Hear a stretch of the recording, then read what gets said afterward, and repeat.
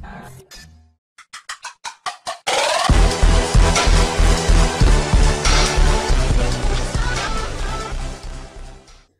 Hey, what's up guys? I'm Marcus with Epic Life Gaming. Thank you guys for coming back for another video. We're bringing base reviews back. So this is a video that you comment your base review in and then I review it on Wednesday. That's when I pick the three lucky people that will be picked um, to get the base review. So all you gotta do is five simple things. One, you need to be subscribed. Two, I need your in-game name for Clash of Clans. Three, I need your clan name. Four, I need your flag design. And five, I need your town hall level. So those five simple things in the comments below and all five have to be in the same comment or it's tougher for you to be picked because I do a random comment picker and if it picks the one I'm like, oh yeah, flag design's this. Well, you know, then I have to go back. It's a lot of work. So just edit your comment so that way it makes it easier for everybody and it has a higher likelihood likelihood of you being picked.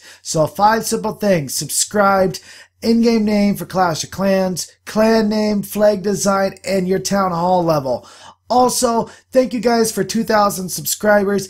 If you could, if you want to, if you want a video of me doing a Q&A, go ahead and leave your questions in this video. In my last video yesterday, I also did this. So either videos, and I'm going to make another one, and I'm going to take all three videos questions and answer them all. So go ahead, leave your questions that you would like for me to answer. Any unique questions will be awesome. Thank you guys for 2,000 subscribers. You guys are going beyond whatever I thought YouTube doing as possible as my hobby. I appreciate it. Thank you guys for everything. Hope you guys have a great day and don't forget to stay beautiful.